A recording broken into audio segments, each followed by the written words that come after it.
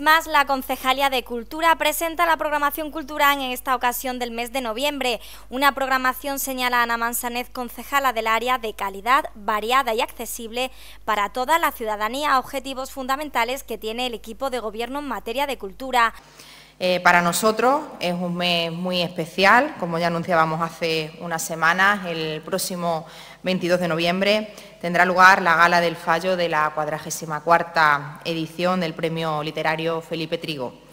Un acontecimiento literario de reconocido prestigio que sitúa a nuestra ciudad en la primera línea de la literatura contemporánea en español y que en esta ocasión eh, va a contar con el gran talento de grandes extremeños, como también ya anunciamos, como Jesús Carrasco como presidente del jurado, Miguel Ángel Matamoros Silva como conductor y presentador de la gala y Celia Romero como amenizadora de la misma.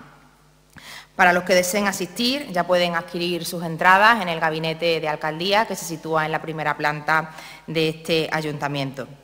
Y también, pues como complemento, esa misma semana, el miércoles 20, en el Centro Museístico Charo Acero, tendrá lugar la presentación de la última novela del admirado y conocido escritor madrileño Benjamín Prado, eh, El Anillo del General, una tertulia que estará además guiada por el periodista local José María Iniesta, cuya entrada será libre y gratuita hasta completar el aforo. Continuando con el campo de la literatura, en la Biblioteca Pública Municipal, el jueves 7 de noviembre, dentro de nuestro jueves literario, tendremos a la narradora Margalida Albertí con La senda de la piel, un cuentacuentos erótico para que disfrutemos del placer de escuchar y que además también eh, tendrá entrada libre. Las artes escénicas, como es habitual en nuestra programación, siguen teniendo peso y comenzamos mañana mismo con La sombra de Doña Inés, de la compañía villanovense Desmontable Teatro, que a través de la narración dramatizada acercan a esta versión del tenorio tan, apropiada en, esta fecha. Será, como decía, eh, mañana día 1 a las ocho y media en el Centro Museístico, también con entrada libre y gratuita. El viernes 8 de noviembre a las 20.30 en el Palacio de Congreso tendremos la representación teatral. Esto es un sin Dios de la compañía La Cuarta Pared,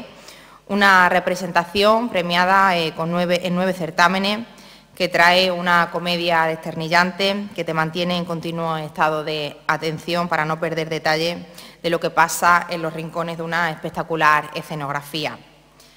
Continuamos con el humor, esta vez en un formato de monólogo, y los cómicos Jesús Piña, David Navarro y, Gelmi se darán cita el sábado 9 en el Teatro Las Vegas con un espectáculo de risas aseguradas cuyas entradas podrán eh, obtener a través de la página giglón.com. Continuamos la próxima semana con la obra de teatro Brunilda, Valquiria, mujer y cantante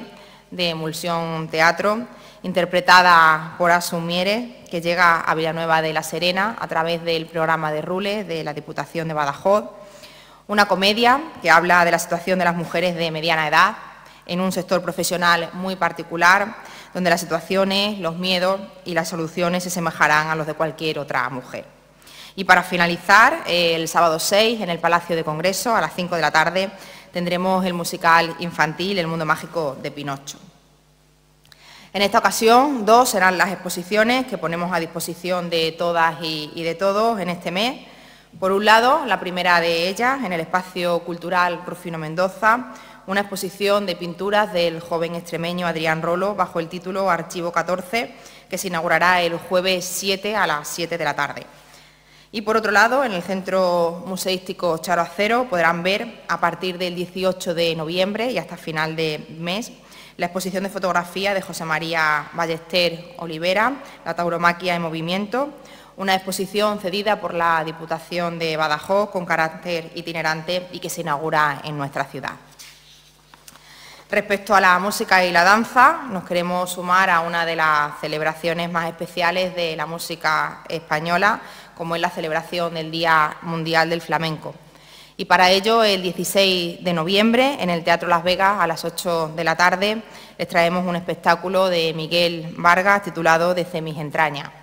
Un trabajo discográfico que nace desde la libertad de un corazón flamenco, que expresa su propia música, que late a su propio compás y que reza al viento para ser escuchado.